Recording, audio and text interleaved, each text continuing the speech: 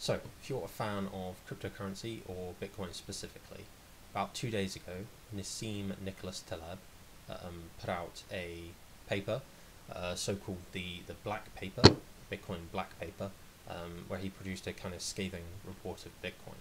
And so, who is Nassim Taleb? Um, author, author of uh, Fooled by great book. I would recommend everyone should read this book, and um, Anti-Fragile as well. They go into some great info on investing, uh, statistics, um, trading. He was an ex an ex trader. He's sort of a statistician now. Um, very very smart guy. He has some videos on uh, the pandemic and virus transmission. I will link his channel in the description because it's definitely um, worth read. So Nassim Nicholas Taleb doesn't seem to be a fan of Bitcoin. So today, what I thought I'd do is just go through his paper, what he's written, and kind of evaluate some arguments. And I think that's really what you guys want to see. You want to see a 23 year old guy um, who, you know, has watched all the videos, is an expert on uh, cryptocurrencies and Bitcoin, you know, and I can, I can call myself that because, you know, I have, you know, I follow, you know, Peter Schiff, uh, but also, you know, Michael Saylor and um, Adam Pompliano, um, you know, but also Roger Ver. So, you know, I got kind of a mix a mix going on of opinions and stuff. So, you know, guys, you're in safe hands, okay? So, I'm just going to read the abstract here. This is the paper. I will link as well where you can find this paper. So, introduction slash abstract. This discussion will apply quantitative finance concepts and economic arguments to cryptocurrencies in general and Bitcoin in particular. As there are about 10,000 cryptocurrencies, yeah, so it's not so, uh, you know, um, limited in supply is Bitcoin if there are 10,000 other cryptocurrencies. Yeah. We focus, unless otherwise specified, on the first crypto as per the original protocol, and the one with the largest market capitalization. In the current version, in spite of the hype, Bitcoin fails to satisfy the notion of currency without government. It proved not even to be a currency at all, It can be either a long term or short term store of value. Its expected value is no higher than zero. It's quite a statement cannot operate as a reliable inflation hedge, and worst of all, does not contrib- cause not, does not constitute, not even remotely, a tail, tail protection vehicle for catastrophic episodes. Furthermore, there appears to be an underlying conflation between the success of a payment mechanism as decentralized mode of exchange, which so far has failed, and the speculative variations in the price of a zero sum asset with massive negative externalities. So he's talking about that you are you know, um, you are very vulnerable. He's, he's saying it's a speculative asset and has neither long or short term store of value, which I would I would withhold my opinion actually, but you might be able to guess by. So going through monetary history, we can also see how a true num- must be one of minimum variance with respect to an arbitrary basket of goods and services how gold and silver lost their inflation hedge status during the Hunt Brothers squeeze in the late 70s, and what would be required for a few true inflation hedge store of value. So, th- the first kind of argument he puts here there are about 10,000 cryptocurrencies, and always what you see parroted around as an argument is that, um, you know, Bitcoin is finite. Bitcoin is, you know, digital gold. Um, and it's digital gold because, you know, you can't can't copy it. There there is a you know inflation protected, so that they they they attribute that there's no inflation in Bitcoin to the fact that there's no inflation in gold. But you know, if there were another metal pretty much identical that you could synthesize that would have all the properties of gold, then you know gold value would drop immensely because it would its use would be, you know, um, it would have competition with this other metal. And so it, it, it doesn't make sense because, you know, you don't just have one Bitcoin. You have Bitcoin versus 10,000 other cryptocurrencies. And, you know, in any technology, when is one of them the first to succeed? You know, when is one of them the, the most technologically advanced um, and that's going to be the best? So it, it just doesn't, the, the kind of store of, yeah, the the digital gold argument never really, um, I, I don't think makes much sense. But anyway, I'll, I'll carry on. So the first page here just kind of goes around and it kind of just explains what um, the Oh, oh my goodness. That's why you don't have a beard, guys. Anyway, page two. So, so I'll go to the comment first. Why Bitcoin is worth exactly zero. Gold and other precious metals are largely maintenance free and do not degrade over their historical rising. They do not require maintenance to refresh their physical properties over time. Cryptocurrencies require a sustained amount of interest in them. So I think this is true, and it kind of leads into the sort of Ponzi scheme um, things that are attributable to Bitcoin. The fact that you know it is, it does, I think, work off a greater fool theory. You need someone else to buy the Bitcoin at a higher price to make sure you profit. Because what are you going to do with the Bitcoin? What, what else is your profit when using a Bitcoin? Your profit, I guess, is the amount you would save in dollars um, if you did that transaction over borders, you know, with a traditional banking system. So that's the only way you could ever make a profit with Bitcoin unless you sell it to someone else. And so, you know, what what the what is the value of that worth? What is that worth? But um, you know, yeah, you, you need extreme amounts of energy um, and time dedicated to keep this network up and running. Whereas gold and silver, you just you just have them in a vault, you know, or on your property, and, and they stay that way forever. So I think that's you know a pretty pretty good good argument there from Nassim. So this first bit of the page, he's talking about um, the mining fees and how that works and how you need um, ever increasing amounts of miners willing to bid up the um, transaction costs um, in order to secure the network and compete and you know to gain the fees and, and mine the Bitcoin. You know the word mine, it, it's it's deliberately used as the word mine, so that in your head you think of precious metal, not just distributed, because that's kind of what it is. I think they're just distributed from, you know, or they're created, but they're not they're not mined. I, I think the word mine is a bit disingenuous, but um. Yeah, so they are using an energy source, and they will ever always need to for eternity to keep the Bitcoin up and running, and as well as that, you have extremely high transaction costs. So, what use is a currency that can take, you know, one dollar, fifty dollars, you know, even like a hundred dollars to send to send anything on the Bitcoin exchange? How does that make it a currency? So it can't it can't it's not a currency. It's a failed currency, obviously. I mean, after 2017, I think it had already shown that it had failed to be a currency, and more people were actually unadopting it. You had, you know, I think different websites actually removing Bitcoin because they didn't want to have to, to deal with it. So, I mean, it's not a currency. Some something else. I think um, I don't know where this was, but something can only be um, a store of value if it's a medium of exchange first. So take something like gold, which was used as a medium of exchange for you know thousands of years. Uh, people were paid in gold. You know, they got their salaries in gold, and they would you know, transact in you know gold coins or silver coins or something. Um, so so gold was a medium of exchange. Uh, sorry, a store of value because you are storing the, the the value in the future that you would be able to use it as a medium of exchange. You are storing you know the the wealth that you would be able to buy with that gold coin that you put in a vault. You're storing your ability to buy something else in the future with it, right? So that that's what makes it a store of value. So if Bitcoin is not being used as a medium of exchange, you know the float. I don't know what the float of Bitcoin is, which is like the amount, the percentage of Bitcoin which is like actually transacted. If it's extremely low, um, then and it, it it's still you would expect if it was being used as an actual currency, a medium of exchange, then you know you would see it. And I don't know what percentage of people are buying it for. It seems like you know basically no one. Everyone is buying it just as a speculative thing, hoping that in the future it will be used as a medium of exchange, which just makes no no sense at all. Um, so yeah, it, it, it is not store of value. You are not storing any value because it has no current use as a medium of exchange. Just impractical, impossible to use.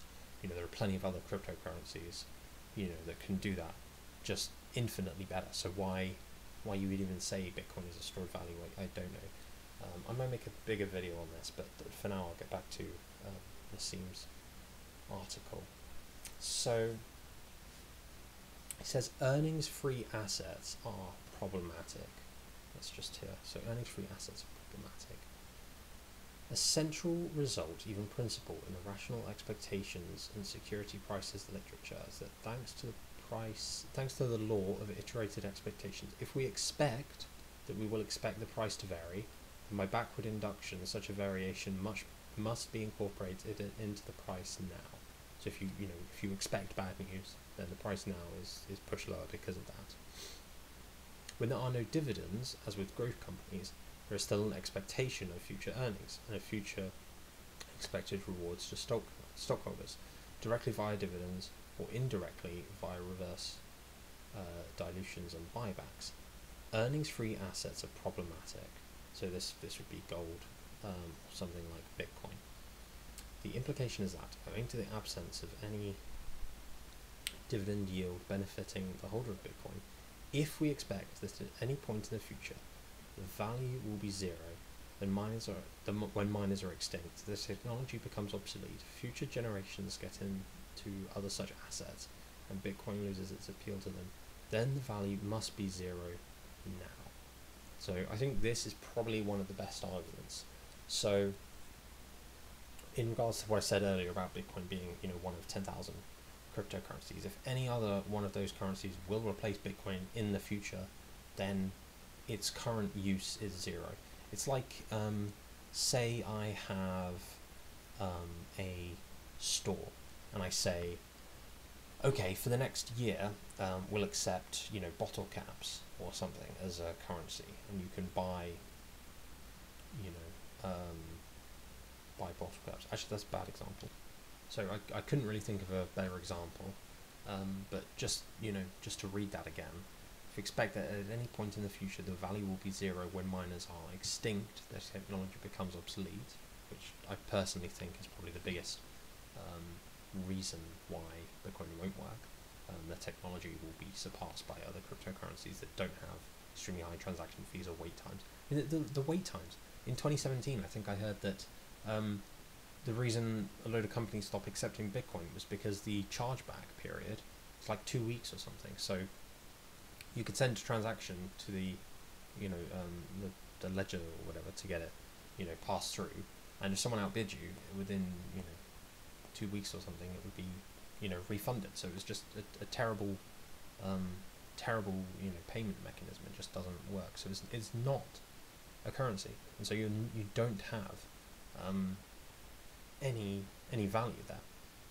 And If the technology it will become obsolete, and the miners, you know, will go extinct, then the value now is zero.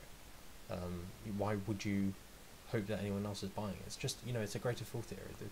If there aren't any greater, you know, the minute there aren't, it just crashes. And the moment they can't get more people, you know, on the, the, the train, then it just goes under. So, yeah. I'll read on. The comparison of Bitcoin to gold is poor. We will later see how precious metals lost its quality as medium of exchange. Gold and other dividend-free precious metals, precious items such as metals or stones, have held some financial status for more than 6,000 years. Yeah, that's a, that's one of the things that um, you know, there's a there's a law which is the the more time something has gone on, the more likely it is to continue going on, um, and you know some laws have gold and things. People can say, oh well, Bitcoin's been around for you know 12 years or something, so that means it will continue on for another 12. You know, hey, it it might, but um, I mean, it, it the technology is obsolete. I mean, gold is not going to be replaced by gold two. You know, there's just not another element for that. You know, there's only so many elements in the periodic table and gold is you know one of the ones that doesn't tarnish and has all these uses you know you're storing the value that in the future you know you could turn it into jewelry which someone will want and there is an existing marketplace for. And people like shiny things. So you know yeah it sounds crude and you know people are it's, it's like people are too smart to understand gold in a way i think. They're just like they, they, they want to be complicated and you know, be crypto investors and it's all fine when you know the it's riding up, but when it comes crashing down, people realize like, okay, well, why am I buying this cryptocurrency if I'm not going to actually trade with anyone for it, right? You're you're, you're just speculating. You're, you're literally just gambling. So, principle one cumulative ruin. If any non dividend yielding asset has the tiniest probability of hitting the absorbing barrier, then its present value must be zero. So he's, he's talking about the same thing why Bitcoin is worth exactly zero here. Or sorry about the you know if the, the future value will be zero then its value in the present must be zero as well. So into the next page. That's four pages here. So I'll read this one bit. The difference between the current Bitcoin bubble and past recent ones such as the dot-com episode spanning the period over 1995 to 2000 is that shell companies were at least promising some kind of future revenue stream Bitcoin would escape such a valuation approach had it proven to be a medium of exchange or satisfied the condition from numéraire of one off of which other goods could would be priced, but currently it is not, as we will see next. So he's saying that other goods are not priced um, actually in Bitcoin. So all the Bitcoin bubble, I mean, I think all the people who are buying Bitcoin, the average age of a Bitcoin holder was about 35. And so they weren't really alive in you know the dot com crash, um, you know, or they weren't old enough to have lost any money in dot com where people were buying you know internet stocks that had you know started out of a basement and had no you know actual cash flow. But at least then you had you know the promise of future dividends. I mean, if you buy Bitcoin, what are you going to get? You're you're literally not going to get anything. You're just hoping that someone will buy it off you for more. But why? Why why would anyone do that? Why would anyone do that? Certainly not me. I'm not going to do that. Um, so comment two, success for a currency. There is a conflation between success for a digital currency, which requires some stability and usability, and speculative price appreciation. So transactions of Bitcoin are considerably more expensive than wire transfers or other modes, or ones in other cryptocurrencies. Very true. Um, and orders of magnitude slower than standard commercial systems used by credit card companies. Yeah, that's that's very true. They said you would have to wait 10 minutes if you use Bitcoin, and I think that's right. Um, of course, it depends. The more people that adopt it, the slower it's going to be, I think, and you know, the more the transaction costs will be, and the more energy you have to waste. So how does how does it make sense for it to be scalable? It's just not scalable. Um, yeah, and to date, 12 years into its life, in spite of the fanfare, with the possible exception of the price tag of Salvadoran citizenship, which is three bitcoins, there are currently no price fixes prices fixed in Bitcoin, floating in fiat currencies in the economy. So no one is selling goods priced in Bitcoin, right? No one is selling goods priced in Bitcoin. I think that's an argument why because it, it, it's it's clearly not being used as a medium of exchange. No one is actually offering. Maybe in the beginning, you know, when it was coming to be adopted, you actually did have that because the transaction fees were so low. You had people, you know, selling on things online for actual Bitcoin rather than dollars. And when when people say Bitcoin is being adopted as a currency, it's it's actually not. It's actually not the Bitcoin that, that people are selling. You know, you can go to um, a gold manufacturer and buy Bitcoin, uh, sell your Bitcoin through a plugin, but all you're doing is giving your Bitcoin to this third party thing. They then sell that on the exchange, give you the cash instantly, so you don't have to worry about the chargeback fees, and then just sending those dollars to the actual vendor. So you're you're just selling the Bitcoin to a third party, getting dollars, and then giving the dollars to the person. So you're not actually trading the Bitcoin. The, the Bitcoin is not being traded. It's just like you know me selling gold and then getting dollars and then giving the dollars to the other person. So it doesn't it doesn't make sense. Um, just reading some more here. Yeah, so you're just talking about how metals aren't really the greatest investment. Um, I, I would tend to agree. I tend to agree. I think it's better to buy um, stocks and a buy and hold um, strategy. I think, you know, generally that works. Um, Random Walk Down Wall Street, that's a good book I'd recommend. Recommend reading that. I really would. Comment through payment system there is a conflation of accepting Bitcoin for payments and pricing goods in Bitcoin, so that the price in Bitcoin must be fixed with a conversion into fiat floating rather than the reverse. So that, that's what I what I just mentioned. That no one is actually pricing their goods in Bitcoin um, for actual acceptance into a payment system. You have to have people actually fixing their prices in Bitcoin. Let's go deeper into how a currency can come about. Yeah, let's do that on the final page here. So I'll read you this section here. To be able to regularly buy goods denominated in Bitcoin, that is fixed in Bitcoin, floating in US dollars or some other fiat currency, one must have an income that is fixed in Bitcoin. Such an income must have from somewhere, say, an employer. Must come from employer. For an employer to pay a salary fixed in Bitcoin, she he must be getting reserves fixed in Bitcoin. Furthermore, for the vendor to offer a can of beer in fixed Bitcoin, he must be paying for the raw material and have overhead fixed in Bitcoin. So the whole transaction system, money system needs to change.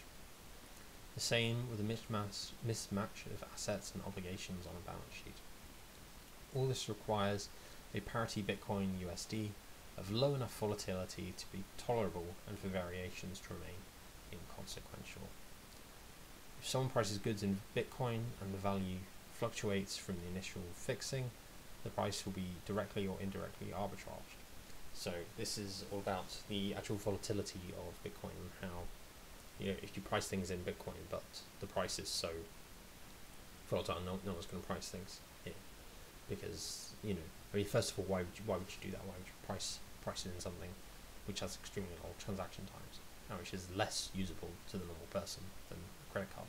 It doesn't it just doesn't make sense. And how's that how's that going to get faster? Are you going to use you know Lightning Network or something, maybe. But I, I don't I don't believe any I don't believe anyone knows what they're talking about when they're even talking about that stuff. Quite frankly. Um, so I think we, we're getting to the end really of the main arguments. I will link this if you want to have a larger look through it, but um, I think I've kind of main points are almost done.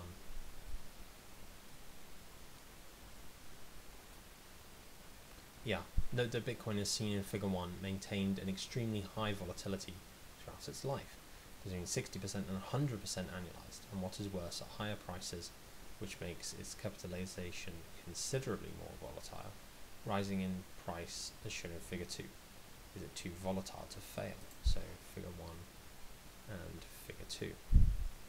Yeah, Bitcoin return 3 months annualized volatility does not seem to drop over time. So yeah, it, it's it's still volatile.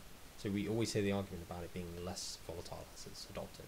I mean, when you have no fundamentals, it's literally just based off, um, you know, um, buying, you know, at a higher price than the other person. You're not getting a dividend. There's nothing to base the actual valuation on.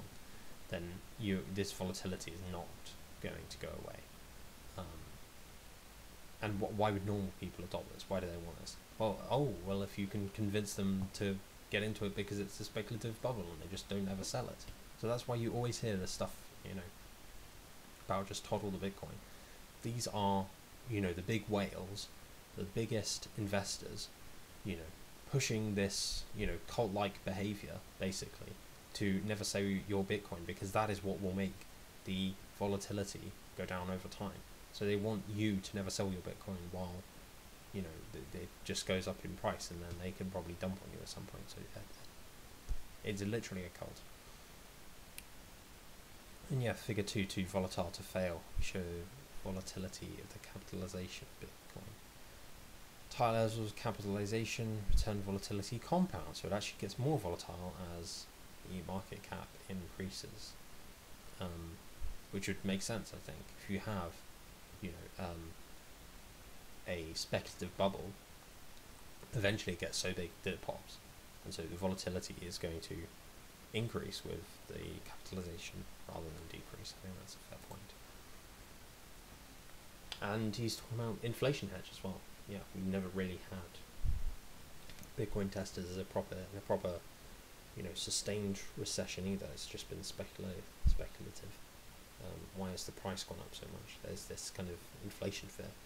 Um, but also, you know, people have spare money. If they didn't, maybe they wouldn't be putting it into Bitcoin. they'd actually be having to save it properly. This does not mean that a cryptocurrency cannot displace fiat. It is indeed desirable to have a real currency without a government, but the new currency just needs to be more appealing as a store of value by tracking a weighted basket of goods and services with minimal error. Displacing fiat is not easy, it has been done locally, though no single item has proved to be permanent and for the difficulty is best represented in the full example. It's a good example, I like this actually. For instance, during the 1970s, the Italian national telephone tokens, the gettoni, were considered acceptable tender, almost always accepted as payment. The price of the espresso in lira varied, but it remained sticky to the gettoni. So this is interesting. So you have something being used as a currency. Why? Because it has um, a real world use, right? You can you can store these tokens and then use them in the future to pay for your telephone service, right? So a little token, and you know they don't think they're divisible which would be something that you would want a currency to be. But you know, um, fairly transactable, fairly easy to transact in, and so this makes sense. Um, but he goes on to say, you know, while obviously when you have mobile phones coming along, um, suddenly your currency, which is pegged, you know, to the use of the telephone system, is now obsolete, and so I think this is where the kind of technological changes um, come in, makes it makes it extremely vulnerable to something like that. But the problem is that owing to technological changes in the long term, no single item such as telephone call will permanently track inflation indices and act as a store of value. Consider that communications got cheaper over time, and the notion of a telephone call is today in the Zoom days obsolete. Even categories have their weights naturally revised over time, and the share of food and housing declined tenfold as a share of the Western consumer uh, since the Great Recession. Thus, we can look at the inflation hedge as the analog the minimum variance numéraire. Okay, so that, that's basically the uh, end of the paper there. So, what do I think about this? Um, I think Nassim Taleb is a smart guy. The people just calling this, you know, FUD and stuff, um, are probably deluding themselves and in a cult and definitely getting their information from the wrong places, uh, probably from Twitter and um, from shills who um, don't really understand any any economics at all and have an incentive to make you buy into something um, because the you know there's a greater fool theory and they will get richer. So you know when anyone buys into Bitcoin, they are incentivized to they are incentivized to promote the narrative that it will in the future be the world's you know reserve currency, which is just so utterly ridiculous. But um, yeah, so it's not even being used as a currency now because it's it's totally rubbish. The transaction fees are stupid, and so how is it going to be used as a currency in the future? What value are you storing in the future when there's even more technologies competing against Bitcoin than today? So um, I hope you learned something from my um, expert analysis, of course, Bitcoin expert. I will be putting that in my LinkedIn um, and Facebook probably uh, YouTube I might um, turn this channel entirely into Bitcoin coverage because I love Bitcoin um, and you can tell that um, I really love it. And I think it's it's going to be the future guys. You you've got nothing to worry about. Um, your you know grandmother's savings and your house that you mortgaged um, like your guru told you to do it's going to be totally safe in Bitcoin. Don't worry yourself okay